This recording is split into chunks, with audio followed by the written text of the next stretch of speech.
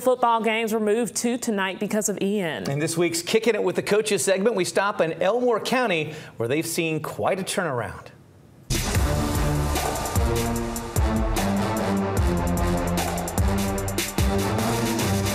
Kicking it with the coaches this week at Elmore County High School with head coach Kyle Caldwell. Coach, thanks for joining us today. Yes, sir. Thank you. Hey, tell us about taking the job here. I asked you before we got on camera.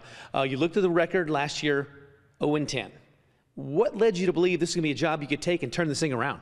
Uh, just the community and the, and the kids. Um, they, they've always had players here, and you just got to get them to believe in themselves, and you got to get the community sport back behind them, and then they'll play. They'll do anything for you once you get that. Off to a four and one start, you got to be pretty pleased with the way things are going. Yeah, we're um, we're pleased, and I know the kids are excited, but they're they're still hungry. They don't want to just go forward and one. They just want to take the next step, and so um, had a good week of practice so far, and, they're enjoying the process. As a player, you played at Dadeville High School, star quarterback, then played at University of West Alabama. Had a great career there. Were you one of those dudes who would like be in class and scribbling up plays and drawing up plays? Uh, in high school, definitely. Um, not so much in college, um, just because we had so much free time between your classes. But uh, I've always loved football, and I actually didn't play organized football until I was in sixth grade, and so um, you don't necessarily have to start early in football to specialize. Was coaching something you knew you always wanted to do? Um, pretty much. Both my parents are teachers and coaches, and I knew I wanted to stay stay around the game at some point. Um, just you know, whether it's basketball or baseball, softball. I mean, my dad coached softball, my mom was basketball, and so anything really involving a ball, I knew I wanted to be around. You've been assistant coach at several different schools for seven years. This is the first time being the head man. Talk about the difference as far as all the other things that go into being a head coach. That's a lot, isn't it? It is. Um, I have some really good assistant coaches, and so being able to delegate responsibilities to them, it takes a lot off my plate, so I can focus a little bit more on the coaching side more than the administration side.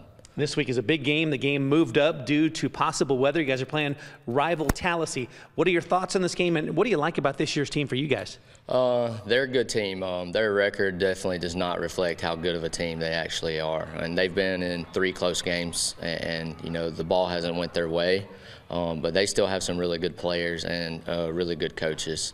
Um, for us, though, we just got to focus on ourselves. We just have to play our game, do our responsibility each play, and uh, you know, win the game Monday through Thursday.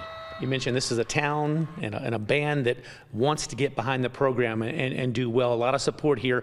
After a tough season last year, things are going well. Describe kind of the, the feeling around town right now as you guys are off to such a good start. Oh, yeah. It's, it's I mean, just random people coming up to me after the game that, you know, I don't even know who they are sometimes, but they're excited for the kids. Just they, they want the kids to do well and they want the kids to succeed. And just, just the, the love and, and the energy around the town right now um, around the football team and, everybody else involved in the football team. It's wonderful to see. What's your message to the players now? You guys are coming up on a rivalry game and still a lot of work left to be done. Um, just don't be satisfied. I, I know they want to be better than four and one, and so don't don't get the satisfaction of just going four and one or five and one. You know, why can't we take the next step? Why can't we be nine and one? Or why can't we be 10 and 1 and keep advancing in the playoffs? Off to an awesome start. Coach, thank you so much for your time. We appreciate you joining us yes, on this week's Kicking It with the Coaches. Again, 0 10 last year at Elmore County High School after a great start, 4 and 1. They have that rivalry game against Tallassee tonight because they moved it up a day because of possible storm issues. So that game we played tonight, Thursday night. And of course, we'll have a lot of highlights. Lots of games were moved to Thursday night in our viewing area. So we'll have a lot more games tonight on the early edition of the Fever, including that big rivalry game between Tallassee and Elmore County.